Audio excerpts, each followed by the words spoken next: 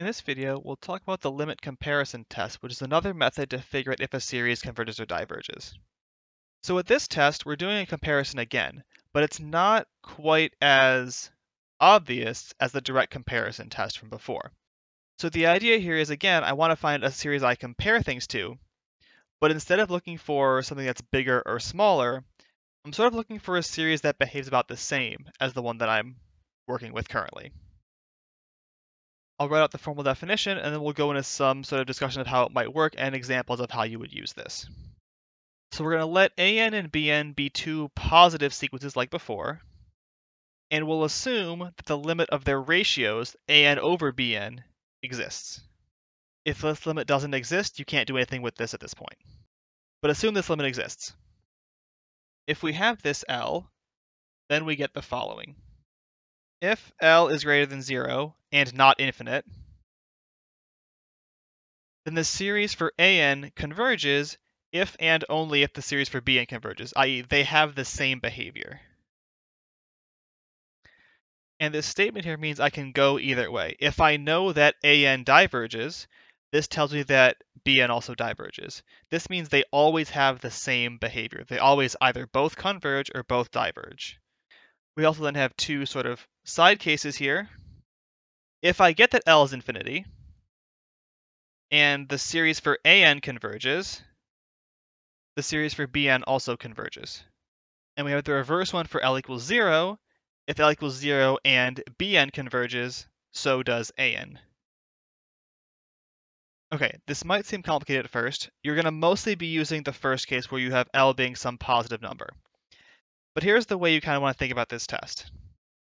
L is the limit of the ratios here. So if L is a number, then that means basically AN and BN are the are the same as each other up to some constant, up to multiplying by some constant. Right? AN could be like twice BN or something like that. But that means if the series for AN converges, then the series for BN is just twice that value and so also converges. And the same goes back and forth. if this limit is some number, that's bigger than zero and not infinity, then the series always behave the same way because they're sort of, at some point, just multiples of each other. There's nothing else going on. They're behaving the same up to that constant multiple, which doesn't affect convergence or divergence. If L is infinity, that means Bn is going to zero faster than An is. Right, they're, assume they're both going to zero here. It means Bn is going to zero faster than An is. And since An converges and Bn is going to be smaller than it because it's going to zero faster, it will also converge. And the L equals zero is the opposite case. They're both going to zero. Bn's going to zero slower than An, but Bn converges. That will force An to also converge. You don't need to know much about why it works unless that helps you to understand how to apply the theorem. You may mainly need to know how to use it to solve certain problems. One example of a problem like that is this one. Determine if the sum from n equals 1 to infinity of n squared plus 2 over n cubed plus 2n squared minus 3n plus 4 converges. This might look really complicated at first, but limit comparison helps us out a lot.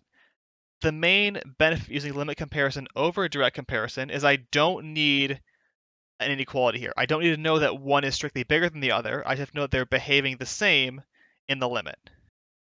Because here, that minus 3n in the denominator is going to make it hard to do an inequality that's going to work for all n. It would work, but it's going to be tricky to set up here. So we're going to ignore that and use limit comparison instead.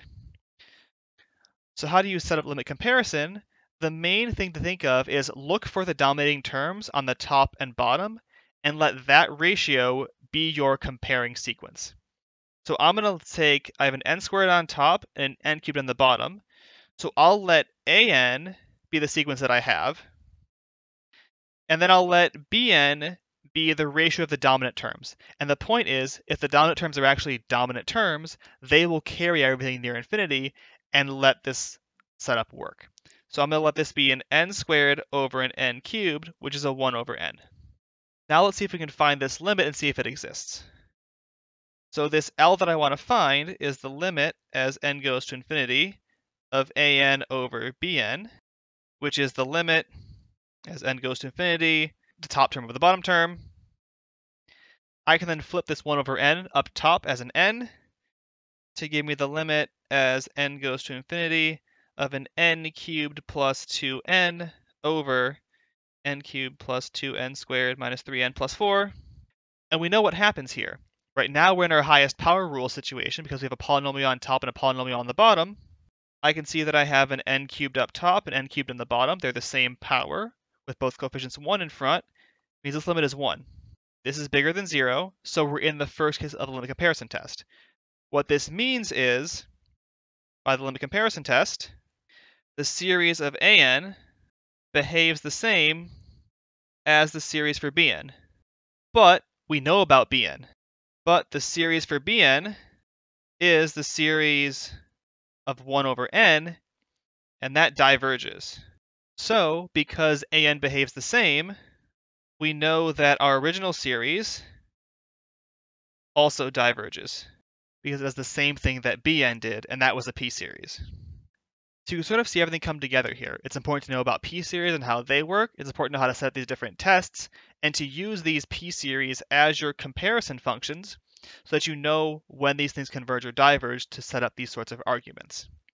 Right, limit comparison test has the benefit of not needing one series to be strictly bigger than the other one, but it still needs the appropriate choice of what you pick for your series, how you set things up, and actually working out this limit correctly to make sure you get the right answer for limit comparison test. So that wraps up this way of determining if a series of positive terms converges or diverges using a comparison of two different series using the limit comparison test.